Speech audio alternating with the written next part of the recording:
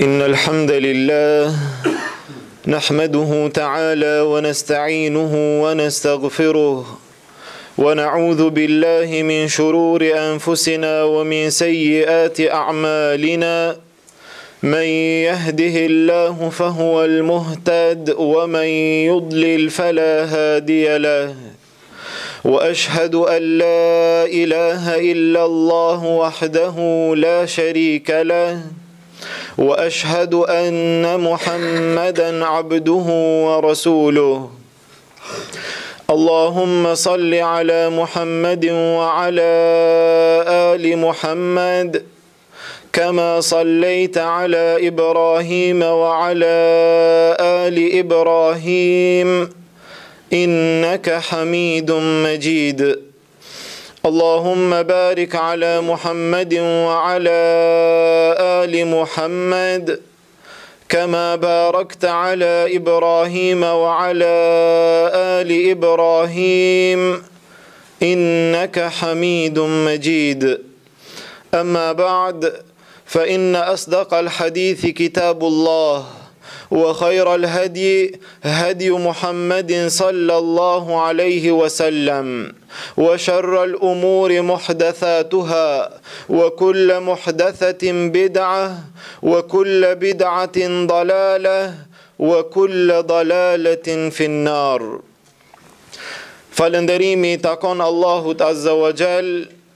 Atë e falënderojmë dhe vetëm prej Tij ndihmë dhe falje kërkojmë, Salavatet dhe Selamet tona ia dërgojmë dashurit tonë Muhammedit Sallallahu Alejhi Wesellem, familjes tij, shokëve të tij dhe të gjithë atyre që e pasojnë rrugën e tij deri në Ditën e Gjykimit.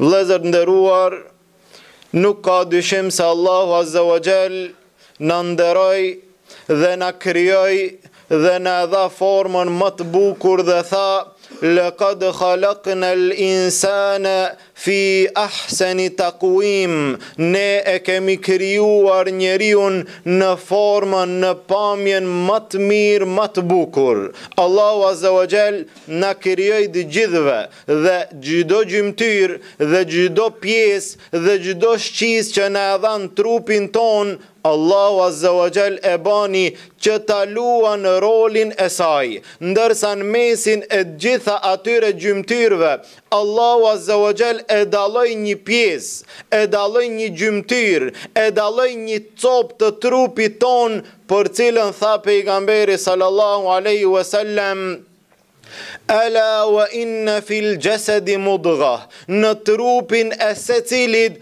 është një pjesë, është një copë e mishit, idha salahat salahal jasedu kulluh, nëse ajo është e mirë, nëse ajo është e pastër, nëse ajo është e shëndoshë, I gjithë trupi është i shëndoshë. Wa idha fasadat fasada al jasadu kullu. Nëse ajo prishet, nëse ajo shkatërrohet, nëse ajo rrënohet, shkatërrohet i gjithë trupi i njeriut. Cila është ajo pjesë? Ala wa hiya al qalb. Nuk ka dyshim se kjo është zemra.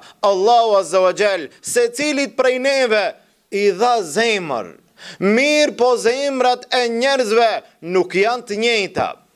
Zemrat e njerëzve nuk janë të barabarta.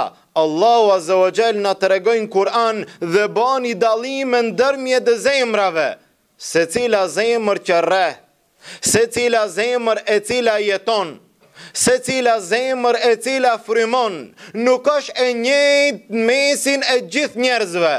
Allahu Azza wa Jall tregoi për disa prej njerëzve, të cilët do të dalin ditën e gjykimit, që do t'ju ban dobi zemra e tyre. Tha Allahu Azza wa Jall, "Yawma la yanfa'u malun wala banun." A ditë që nuk ban dobi pasuria e as fëmit, illa men ata Allahe bi kalbin selim, përveç atyre të cilët vijnë te Allahu me zemër të shëndoshë, me zemër të pastër, a janë të pastërta zemrat tona? A janë të shëndosha zemrat tona në mesin e zemrave të cilat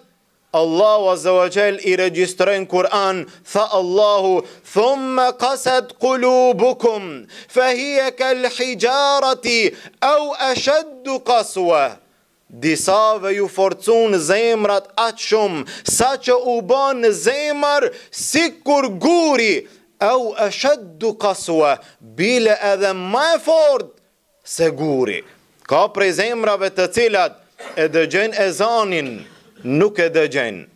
E shohin Kur'anin, nuk e shikojnë. Dëgjojnë për fenë e Allahut azza wa jall, nuk ju intereson. Zemër si guri, edhe më e fortë se guri. Dhe shumica e zemrave, zemër e shëndoshë, Një kategori e njerëzve. Zemër e vdekur! Një kategori e njerëzve. Në mesin e këtyre është një pjesë e madhe që Allahu azza wa jall tha, Feyatma'a alladhi fi qalbihi marad, Të lakmon ai i cili e ka zemrën e smurë. Për fat keq në mesin e shumë njerëzve ka zemër e cila është zemër e smurë, me smundjet e zemrës. Dhe çfarëdo gjymtyre që të dhem është ma lehtë se sa dhimbja e zemrës.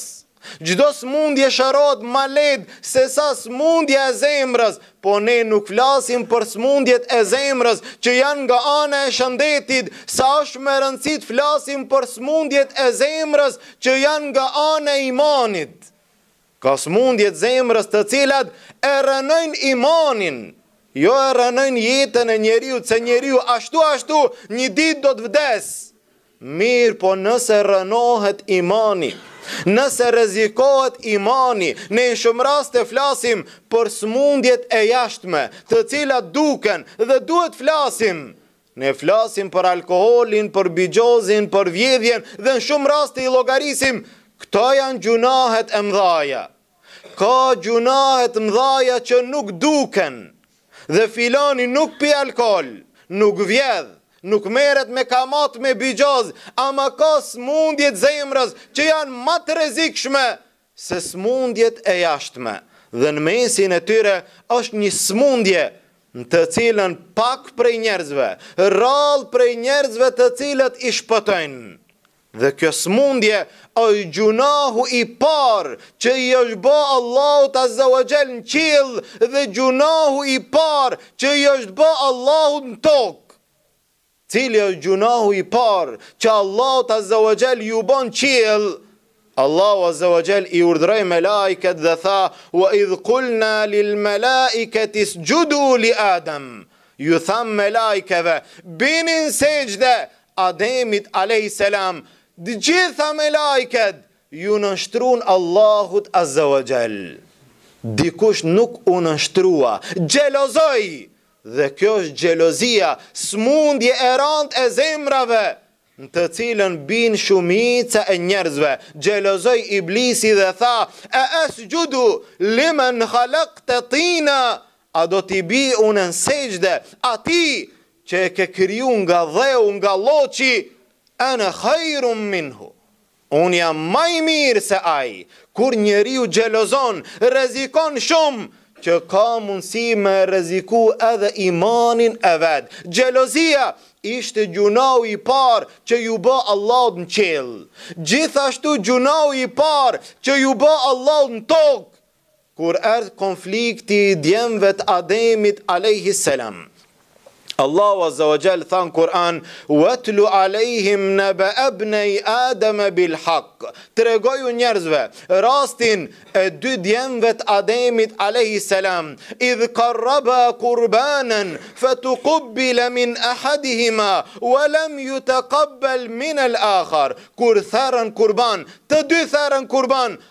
Allahu njanit ja pranoi dhe tjetrit nuk ja pranoi. Kur Allahu ja pranoi kurbanin vllaut që njihen Habil edhe Kabil, Kabili xhelozoi, Pse Allahu me ja pranu atij e jo mua? Pse ai me e marrë bashorten ma të mirë e jo une? Tha, La'aqtulannak, tha unë ty kam me të vra. A xhelozia është sëmundje e rrezikshme, arrin deri në këtë shkallë, kam me të vra, kand, vëllaun e tij. Tha innama yataqabbalullahu minel muttaqin, vëllau i mirë tha Allahu e pranon prej njerëzve të devotshëm, la'in basatta ilayya yadaka litaqtulani,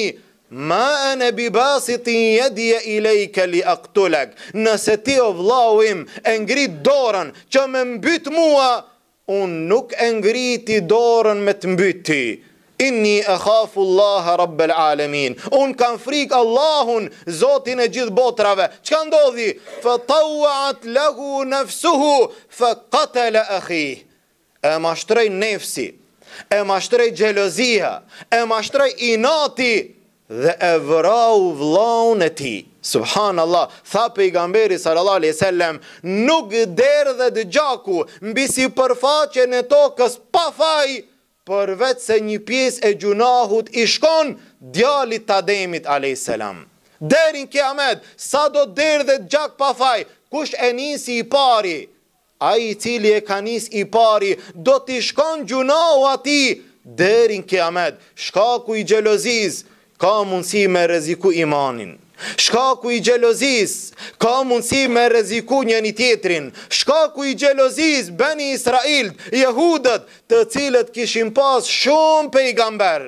Shumë prej pejgamberëve Allahu i dërgoi te populli Beni Israil. Mirëpo kur pejgamberin e fundit, Muhammedin sallallahu alejhi ve sellem, Allahu e dërgoi nga arabët dhe nuk e dërgoi nga Beni Israilët, Beni Israilët xhelozuan, xhelozuan jehudët, xhelozuan krishterët dhe nuk e pranuan pejgamberin sallallahu alejhi ve sellem, kjo xhelozi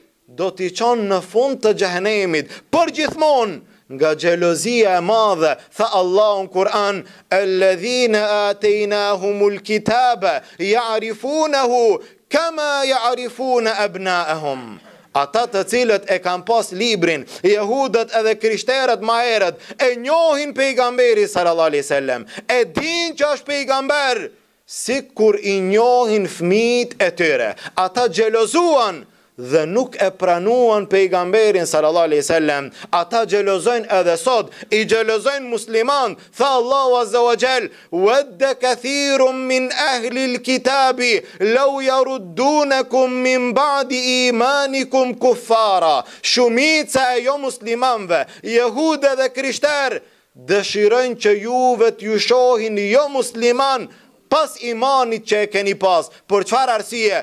Haseden min indi enfusihim, nga xhelozia e madhe që e kanë ndaj juve.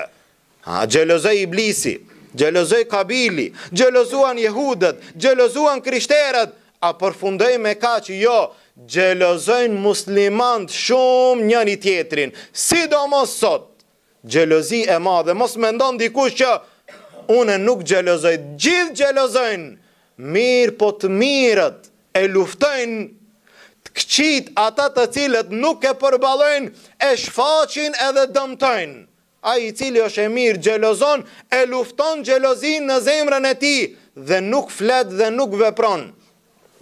Ai i cili nuk ka mundësi ta përballon e shfaq Edhe tjerët i dëmton, edhe muslimant e xhelozojnë njëni tjetrin.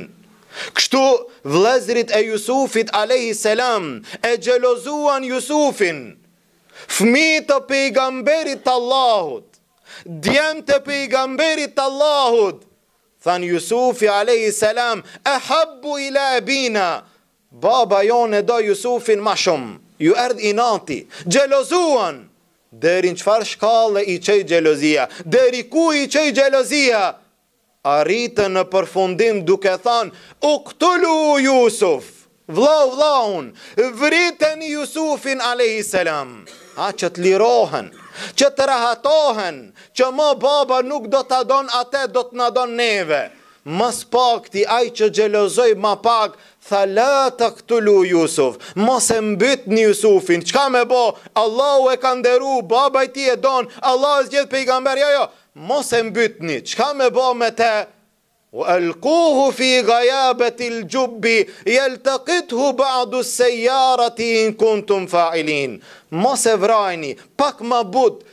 Merreni hudhne n'pus le ta marrin tregtarët le ta çojnë dikun tjetër vllau për vllaun vllau për vllaun nëse xhelozon shumë na kemi xhelozi në familjet tona kemi xhelozi në shkollat tona kemi xhelozi në punët tona në disa raste kemi xhelozi edhe në xhamiat tona Dhe njerëzit e xhelozojnë njëri-tjetrin. I pasuri e xhelozon të pasurin. Punëtori e xhelozon punëtorin. Studenti e xhelozon studentin. Hoxha ndoshta e xhelozon hoxhën. Secili e xhelozon atë kategorinë e tij që e ka afër. Dhe xhelozia nxjerr sëmundje tjera në mesin e njerëzve dhe nuk ka rahatllëk. Na nuk jemi të mësuar, Pejgamberi sallallahu alejhi e selem na mësoi ndryshe, La yu'minu ahadukum, Nuk ka besu askush prej jush, deri kur, Hatta yuhibbe li akhihi ma yuhibbu li nefsih, Deri t'ia don vllaut tij atë që e do për vete. A jemi ne të këtillë? Për fat keq, filani ndërton shtëpi, tjetri fillon xhelozon. Filani blen automjet ma të mirë, tjetri xhelozon. Filani një telefon pak ma të mirë, tjetri xhelozon. Filanit po i ec puna përpara, menjëherë dikush xhelozon. Studenti dikund ka sukses, tjerët e xhelozojnë. Nuk ecim kështu përpara. Nëse ne nuk e dëshirojmë për vëllaun tonë atë që e dojmë për vete, S'ka mundësi që të ecim përpara asnjëherë. Ne duhet të jemi të kënaqur me caktimin e Allahut azza wa jall. Allahu e ka bo kader, kujt i jep ma shumë dhe kujt i jep ma pak. Allahu azza wa jall i ka ndajt gjërat. Tha Allahu në Kur'an, Ehum yaqsimune rahmete Rabbik, A ata dëshirojnë që ta ndajnë rahmetin Allahut? A don që Allahu neve me na i lon n'dorë dhe na me i ndajt me i dirigju sendet, kujt me i dhanë pasuri ma shumë e kujt ma pak, kujt me i dhanë talent ma shumë e kujt ma pak, kujt me i dhanë bukuri ma shumë e kujt ma pak, kujt me i dhanë e kështu me radhë, e hum yaqsimun rahmata rabbik, a ata duan që Allahu t'jau len n'dorë, t'i ndajnë gjërat mesin e tyre, Nahnu qasamna bejnahum maishatahum fil hayatid dunya Ne atyre ua kemi nda gjërat n'jetën e kësaj dunjaje, Allahu i ka caktu por çdo gjo që dikush e ka një t'mirë duhet thon Elhamdulillah ose së paku me bo dua o Zot Na jep edhe neve atë që ia ke dhon filanit dhe jo xhelozia e cila kërkon merrja atë që ia ke dhon filanit. Xhelozia është sëmundje e rrezikshme që i çon njerëzit deri në atë shkallë që mos të jenë të kënaqur me caktimin e Allahut azza wa xhel. Andaj jo rastësisht Allahu azza wa xhel na urdhëroi në Kur'an që ne të kërkojmë mbrojtje. Dhe tha Allahu Azza wa Jall në surën e njohur, surën Falak, Kul a'udhu bi rabbil falak. Thuaj, kërkoj mbrojtje te Allahu Azza wa Jall, Zoti i agimit. Kërkoj mbrojtje prej kujt? Min sharri ma khalak. Prej çdo të keqe që është e krijuar. Wa min sharri ghasiqin idha waqab, edhe prej natës kur bohet terr kur ka mundësi me ndodh ndonjë e keqe. Wa min sharrin naffathati fil uqad, dhe ato nyjet që lidhen dhe bohet sihr, Allahu na rujt prej tyre. E fundit, Wa min sharri hasidin idha hasad Allahu t'na mbron prej atij që xhelozon kur ai xhelozon Kur dikush xhelozon, ka mundësi me të ba dam të madh që ndoshta ti nuk e paramendon. Ai nuk të ban dam në aspektin e jashtëm, të ban dam prej aspektit brendshëm. Nëse dikush xhelozon shumë, ka mundësi me e dëmtu tjetrin pa e vrejtë fare. Allahu azza wa jall na urdhëroi, Wa min sharri hasidin idha hasad. Edhe kur dikush xhelozon, Allahu t'na mbron dhe Pejgamberi sallallahu alejhi e selem na mësoi që këtë sure dhe dy suret një para edhe mbrapa kësaj T'i lexojmë në mëngjes. Dhe këtë sure ta lexojmë mbrëmje. Dhe këtë sure ta lexojmë para se me flenjtë, për çfarë arsye, që të jemi të mbrojtur nga këto smundje. E nëse njeriu, nëse njeriu e pastron zemrën e tij, dhe e pastron shpirtin e tij, dhe e lufton xhelozinë e tij, arrin në një shkallë që Pejgamberi sallallahu alejhi ue sellem e përgëzoi dikand prej sahabeve. Një ditë prej ditëve, Pejgamberi sallallahu alejhi ue sellem duke qenë me sahabët në xhami, ishte duke ardhë dikush me hy mrenda. Pejgamberi sallallahu alejhi ue sellem ju tha sahabeve, Tash do të hyn në xhami një person i cili është prej banorëve të Xhennetit. Sahabët pritën me e pa kush do të jetë ky që është i garantuar me Xhennet prej dynja. Dhe kur hini një person, hini një sahabi që përshkruhet kishte marrë abdes, mjekra i kullonte ujë, i kishte marrë nallët me dorën e majtë, hini në xhami dhe u ul pranë. Sahabët e panë ky njeri Është i garantuar me xhennet. Sahabet u interesuan, sahabet nuk xhelozuan. Është një dallim i madh, Pejgamberi sallallahu alejhi ve selem na tregoi, lejohet xhelozia në dituri dhe në pasuri, ai që ka dituri me thonë, o Zot jepëm dituri edhe mua sa i ke dhon filanit, ai që ka pasuri ndihmon, o Zot jepëm edhe mua sa i ke dhon filanit ndihmoj edhe unë, sahabet xhelozun kështu, Kur Ebu Bekri dha shumë, xhelozoi Omeri që të jap edhe ma shumë, dhe s'pati mundësi me arrit ate, ata xhelozuan, cili do t'ia kalon, ne xhelozojmë, cili do ta rrënon, sahabet nuk e xhelozuan, sahabet u interesuan, me çka e arriti ky këtë shkallë, prej nga mrini ky me qenë prej banorëve të Xhennetit prej dunja, Ditën e dytë Pejgamberi sallallahu alejhi selem tha, do të hyn dikush në xhami, i cili është prej banorëve të Xhennetit. Dhe kur hyni përsëdyti i njëjti person. Ditën e tretë tha Pejgamberi sallallahu alejhi selem, do të hyn në xhami një person, i cili është prej banorëve të Xhennetit. Dhe e panë ditën e tretë, hyni i njëjti njeri, atëherë u ngrit Abdullah ibn Amr ibn Asi, radijallahu anhuma, dhe shkoi iu afrua dhe tha, O ti filan, kam pas problem me babën tim dhe jam betu që tri ditë nuk do të kthehem shtëpi, a kam mundësi që të vi te ti, tri ditë të qëndroj shtëpinë tande, tha po si jo urdhëro, e mori në shtëpi dhe e përcjelli Abdullahu, E përcjelli ditën dhe nuk pa diçka të jashtëzakonshme. E përcjelli natën që të sheh çfarë ibadeti do të ban dhe nuk pa diçka të rrallë. Kaloi nata e parë, kaloi dhe nata e dytë, kaloi dhe nata e tretë dhe e pa atë person si gjithë muslimanët. E pa që nuk ka ndonjë veçori e cila duket. Ngase në shumë raste ne i vlerësojmë ato që duken, ne nuk i dimë ato që nuk duken.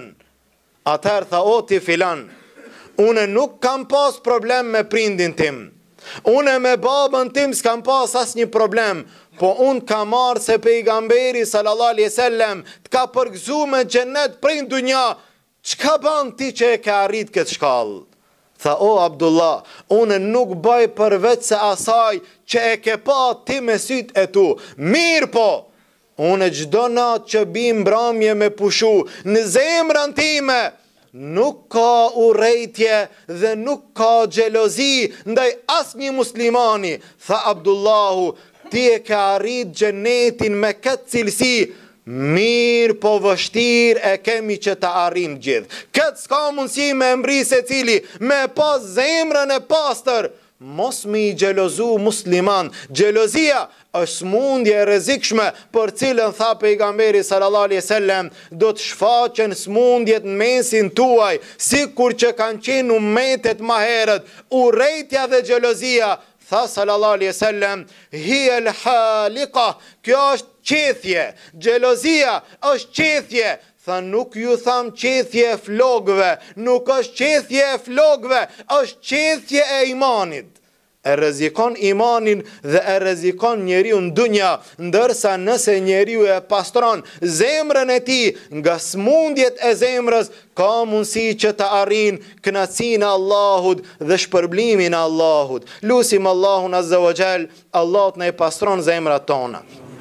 Lusim Allahun Azza wa Jall, Allahu të na i pastron zemrat tona nga xhelozia, Allahu të na i pastron zemrat tona nga mendjemadhësia, Allahu të na i pastron zemrat tona nga zilia, lusim Allahun azza wa jall, zemrat tona Allahu të na i pastron, zemrat tona mes vete të na i dashuron, lusim Allahun azza wa jall, gjunahet tona Allahu të na i fal dhe të na i pastron, gabimet tona Allahu të na i përmirëson, imanin tonë Allahu të na e shton, lusim Allahun azza wa jall,